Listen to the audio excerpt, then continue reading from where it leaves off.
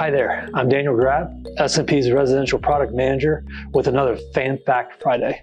Today, I'll be showing you how to remove the body of our best-selling TD-MIXVENT inline fan. This feature allows you to access the motor without the need to disturb the adjacent ducting.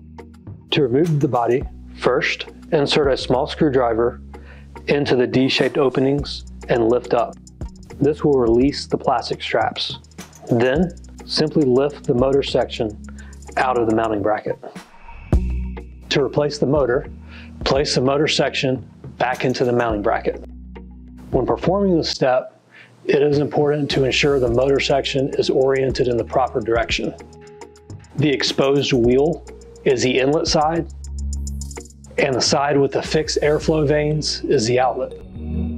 Then tighten the straps by simply pinching the protruding tabs along the strap together to secure the motor section in place. And there you have it.